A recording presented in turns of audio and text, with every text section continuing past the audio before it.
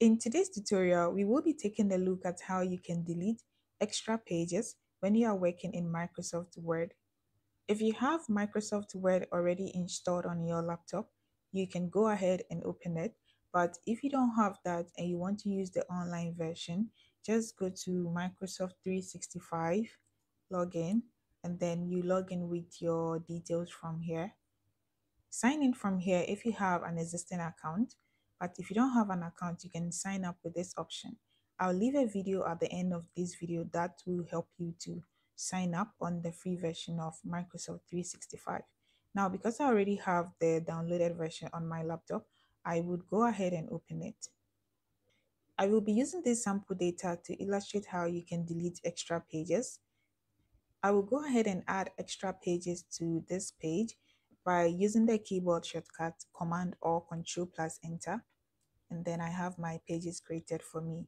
In case you want to create a new page, make sure that your cursor is at the end of your document. If your cursor is at the beginning of your document, you're going to have your page in front. Let me illustrate that. Command Enter. See, you have your blank page at the beginning and then the, the page with the words in the middle. In order to delete an empty page, we will be using the keyboard shortcut Control plus the backspace on your keyboard or Control plus delete on your keyboard. And then your empty pages or blank pages will be deleted for you. We are using the keyboard shortcut Control plus delete or backspace on your keyboard.